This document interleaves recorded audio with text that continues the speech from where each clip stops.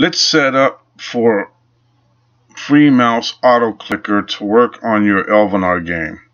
First position your screen where you can collect and then you'll be using two programs. First one is this one which is free ghost mouse spelled G-H-O-S-T The second program is this free mouse auto clicker. I have it set for 5 minutes and 50 seconds. What we do now is we get ready to collect. To do this, you need to push the start button right here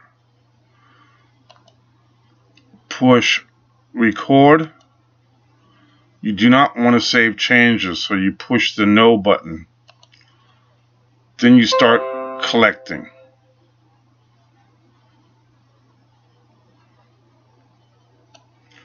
After you collected you start producing every five minutes. You want to make sure that your screen does not jump while doing this process.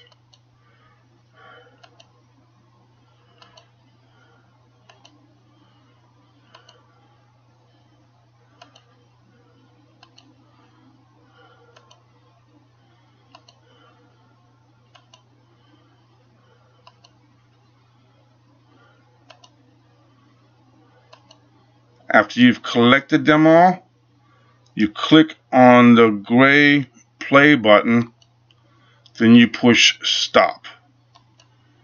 Once you've done that you rest your mouse back on the play button. And after 5 minutes and 50 seconds it will repeat the process